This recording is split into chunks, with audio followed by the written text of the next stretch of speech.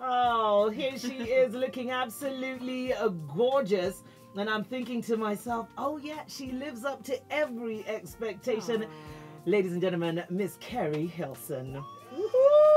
What's up?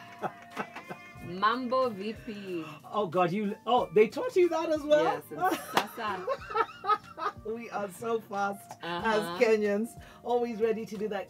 Keri, welcome to Kenya. Welcome to Thank 98.4 you. Capital FM. Thank you, thank you, thank you. You look gorgeous, you look amazing, and we're looking forward to your performance. Thank you. I'm looking forward to it too. So, um, just listening, that was your first track um, with uh, Timbaland. Could you just tell me Yeah. about that first meet?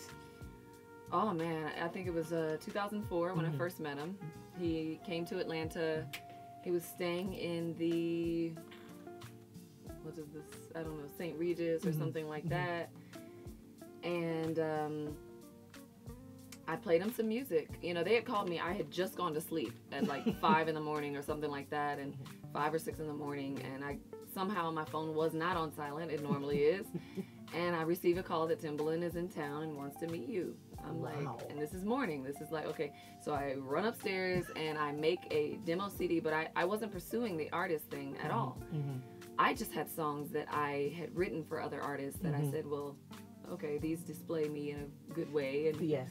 um, they hadn't released yet on the other artists. Mhm. Uh, they were just demos. So I compiled a CD together, and I go and meet with him. He says, "You remind me." My hair was like, my hair was kind of like these twists. They, I, they're like these twists that kind of resemble dreads a little Yes. bit. Mhm. And um, he said, I don't know how he saw this, but maybe the way I was dressed, I had on like army fatigue, like So le- remind me of the brat. The brat. Like no, he said? Aaliyah. Oh my God! He said yeah. Aaliyah, but I don't think it was the, the hair particularly. I think it was just the tomboy style, maybe. yeah. Yeah. Um, and uh, I was really taken aback by that. And then there was a song that, well, you know, because he got sad when he said it, of course, you know. Oh yeah. Yeah. Because yeah. yeah. Yeah. Okay. So I was like, is that a good, Good thing? thing, You or, know, I know- his energy kind of changed a little bit bit. of an like, awkward moment. Yeah, it's like, oh, maybe that's not a good thing. But it, it turned out that it was, and Mhm. I played him a, a certain song Mhm. um, that I ended up naming my company, one of my companies after, because he said, in. I know what to do with this song. And that's the first song, that's the song that made him fly me back with him to Mm. Miami that same night. I ran home. Are you? I so he comes bag. into town. You do Yes. a demo, and he flies you right back, just like that. Yeah, I just I didn't do the demo. Like I had already had done demos. I play him songs, yes. Mhm. And he's like, "Oh, I know what to do with this. What are you doing tonight?" I was like, "Uh, no, nothing. If you're asking, nothing." Uh, I had a session. You're gonna love this guy. He's so random. He is very random, but I get the call from my people that set up the meeting that he wants to fly you down to Miami. And what time? I think it was like a three o'clock flight. I was like, "Oh my god, I'm so tired. I have not slept yet, but I'm going."